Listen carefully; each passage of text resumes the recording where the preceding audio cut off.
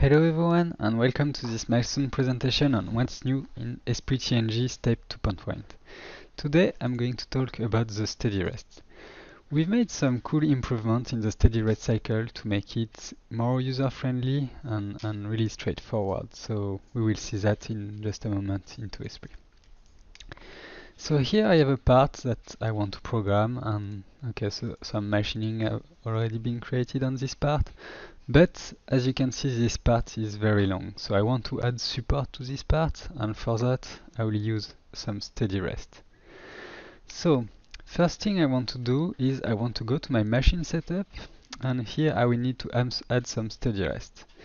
In order to do that here on the top side you can see that you have a mount option and you can choose to mount a steady rest. So that's what we are going to do right now. So I'm clicking mount steady rest and then I'm going to choose my steady rest here from my list of uh, fixture. So I'm going to choose that one, click on open and then we can see the steady rest appearing on the screen. So first thing I want to show you here is that we can choose the position where we want to mount the steady rest.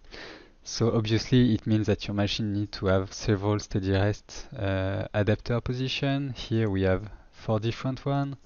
So I could choose any one of these four positions to mount it in. So right now I'm going to mount um, it in the first position here.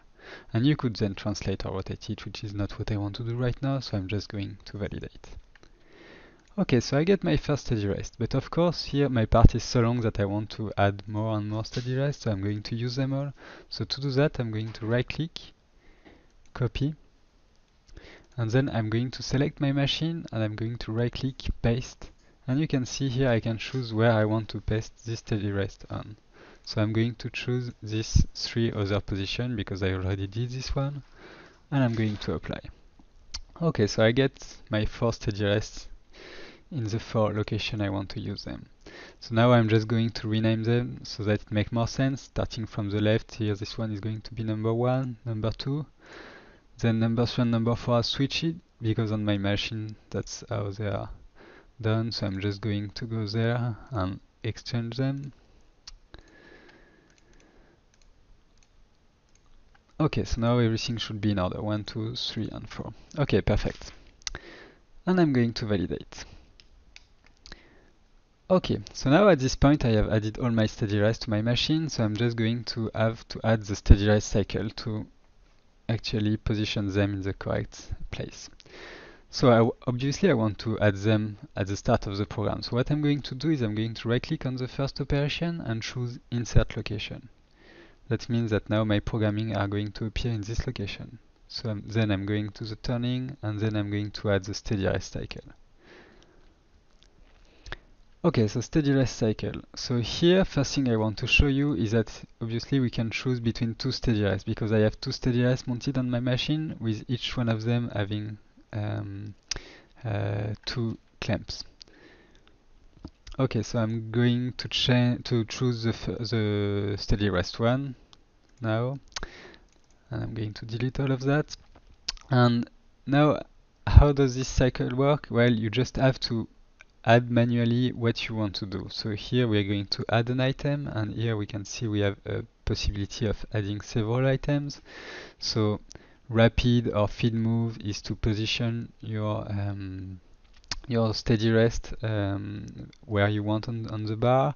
Then clamp and unclamp are pretty obvious. Then you can add change the pedal speed or add a dwell or a stop code or you could uh, move or off or to center. So that's the first thing I want to do here is I want to move my steady rest to center to be actually to actually be able to clamp on the part and then I'm going to clamp and when you, you choose uh, clamping you can see because I have two fixtures on this steady rest I can choose which one I want to, to clamp.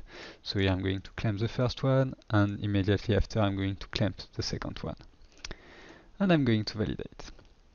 And then I want to do the same for the second one. So I'm going to add another steady rest cycle. But here I want to change for my second steady rest. And then obviously I want to change the clamping. So it's going to be fixture 3 and fixture 4. Okay, it's already automatically changed. And one thing though here is you, can see my second steady rest is not currently on the proper position here on that bar, so I will need to move it to the proper location. So I will need to add a rapid move here. Oops.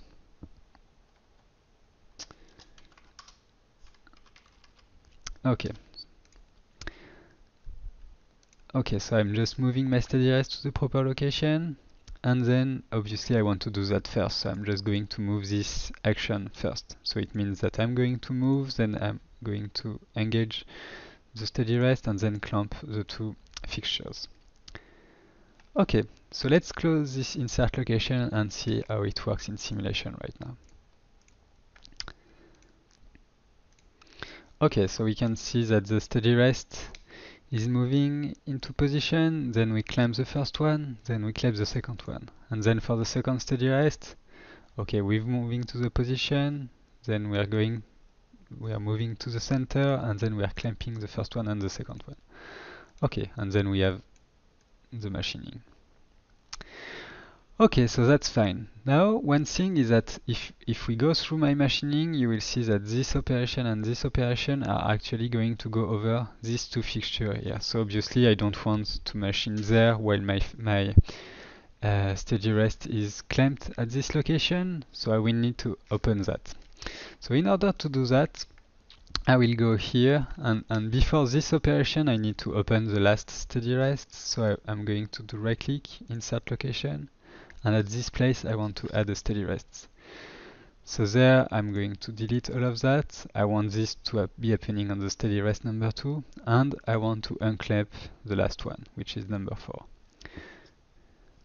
Okay, so I can close my insert location and then I want to do the same thing for the next operation but with the other fixture. So then on this one I want to unclamp number 3 and I can clamp number 4 back.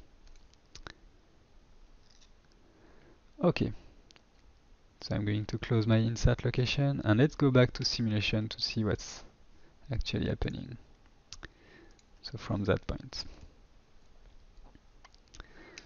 Okay, so we finished machining um, here, but now we are going to machine here, and obviously here it's clamped, so I don't want to, to machine while it's clamped, so we are going to unclamp first. Okay, so we unclamp this, then we have the machining, I'm going to speed that up a little bit. Okay, and then as you can see we unclamp this one and we clamp that one and then we continue with the machining. Okay, and then we could clamp it back again after, so that's up to you. Okay, so that was all for this milestone presentation on the steady rest. I hope you enjoyed it. I, personally, I found it very easy to use and very user friendly. If you have any question, don't hesitate to contact us. We will be more than happy to help you. Thank you.